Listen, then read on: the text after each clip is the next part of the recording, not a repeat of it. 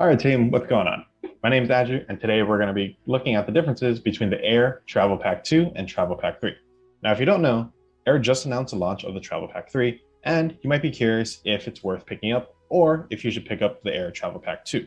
Over the past few years, Amy and I have used the Travel Pack 2 as our go-to travel bag for all of our adventures. We love the Travel Pack 2 because it's got great durable materials, a simple yet classy design that helps you blend into just about any city, and it's comfortable to carry when fully packed out. So in this video, we'll be comparing the features of the Travel Pack 2 and Travel Pack 3 to help you decide which bag to pick up. And don't worry, we're not sponsored by Aer. We're just two travel enthusiasts who love backpacks and want to help you find a better way to carry your travel gear. So without further ado, let's dive in. All right, so let's look at the measurements of both bags. For the most part, both bags have the same length and depth at 21 inches long and 8.5 inches deep. The main difference here is the width, which is only about half an inch. The Travel Pack 2 is 13.5 inches wide, and the Travel Pack 3 is slightly smaller at 13 inches wide. In terms of capacity, the Travel Pack 2 is listed at 33 liters, while the Travel Pack 3 is listed at 35 liters. We're curious to know where the extra 2 liters came from, and we'll let you know when we get our hands on the bag. From our experience, the Travel Pack 2 feels like it's able to carry a little bit more than 33 liters due to the stretch in the materials. In terms of the weight of the bag, the Travel Pack 3 is slightly heavier than the Travel Pack 2, coming in at about 4.2 pounds, whereas the Travel Pack 2 weighs 3.7 pounds. In terms of the materials, both bags use 1680D Cordura ballistic nylon, and both bags feature YKK zippers and Duraflex plastic hardware. Also, both bags feature lockable zippers. Now, let's get into the pockets and features around the bag. Both bags feature a front pocket with an AquaGuard zipper.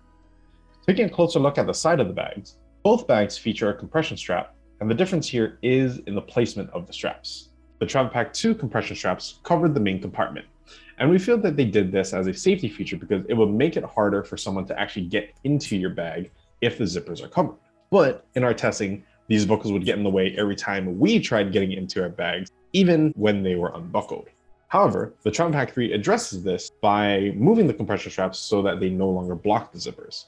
Overall, we think this is a huge improvement, so thanks Aer. Also on the left side of the bag, we can see that the Travel Pack 2 has a water bottle pocket and a D-ring right above it. On the Travel Pack 3, they move the water bottle pocket to the other side, and instead, we have a secret pocket where you can store something like a passport. On the back of the bag, both bags have large padded carry straps with a sternum strap. Some of the difference here that we can see are that the Travel Pack 2 has a squared off back mesh panel, while the Travel Pack 3 has a triangular shaped back panel. This back panel is to help with airflow, so we're curious to know what the differences are between the two bags once we're able to test it in hand. Some minor changes that you can also see here is that the D-ring has moved from one side of the bag to the other. On the back of the bag, you can see that Aer added load lifters to the Travel Pack 3 and are really excited about this as we think this will really improve the way you carry the backpack. To accommodate the load lifters, Aer added an internal frame sheet. Still on the back of the bag, both bags have a luggage pass-through, and both bags have the option to add a hip belt. Moving on to the right side of the bag, the Travel Pack 2 really doesn't have anything, but you can see another shot of the compression straps here.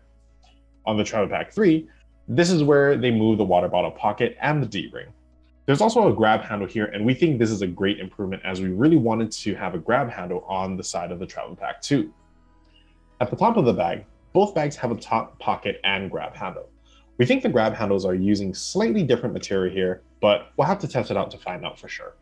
Moving on to the inside of the bag, there's a tech organization panel on both bags. For the most part, the panels look the same and have the same layout, but there are some minor differences in the trim and the mesh pocket. We also wonder if the material is more tightly stitched on the Travel Pack 3 as the material on the Travel Pack 2 is a little droopy from our experience. Moving on to the main compartment, both bags feature a large interior. The big difference here is the design of the flap. The Travel Pack 2 has two pockets, one mesh and one zippered pocket. The Travel Pack 3, on the other hand, has a mesh pocket and we think there's a large panel pocket, but we're not entirely too sure. So we'll let you know once we're able to get our hands on the bag.